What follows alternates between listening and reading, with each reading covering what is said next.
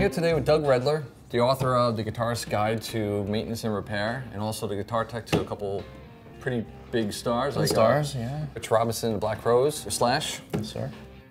Ripping Look at that. Gibson huh? Les Paul that. that I'm dying to play. We need strings though. The strings are shot. What's the parts of this guitar? Volume controls, the tone controls for each pickup, Right. tailpiece, the bridge, saddle pieces in the bridge, treble pickup, rhythm pickup, pickup selector, fretboard, metal frets, your nut, and the tuners. All right. How do we take the strings off? Okay, very simply, take the Pro Winder and just go clockwise. So now they're nice and Strings loose. are nice and loose. So right around the 12th fret, I'll just cut them. So we just slide them right through the tailpiece, tie them up, throw them away, and then one by one here, we're just gonna take them off of the tuners. So now we're all off. There, So they're all off. What's the next step? Ready to string it up. I'm gonna put on these new D'Addario NYXLs. So they're all color coded as we know. We're gonna put all the strings through the tailpiece first before we start winding. Okay. Very simply, straight through. Make sure you go through the hole, not underneath. Right through the hole of the tailpiece, nice and tight. And we're gonna put all the strings on first before we start.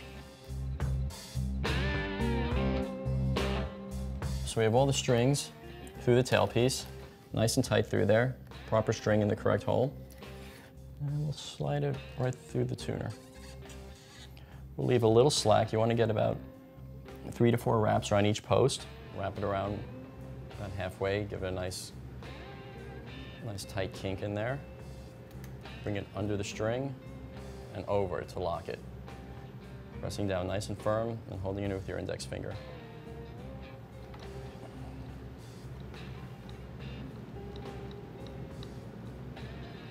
Well, you don't want to overlap the string around itself. The guitar will not stay in tune that way. Then the same thing, Let's finish it off. Give it a couple of inches of slack there. Under and over. Nice and tight, keeping pressure. We'll just cut them as close to the post as possible, leaving as little out there to poke yourself with, really just for safety. But get it nice and tight to the post.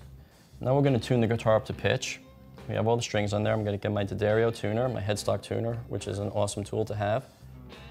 So starting from the note being flat. Starting from the note being flat.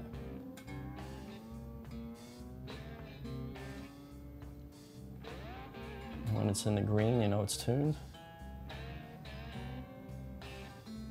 And now we start stretching.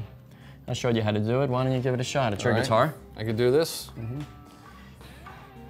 Put, put a little muscle into it, a little muscle. You gonna There take me on the that's road? it. Nice.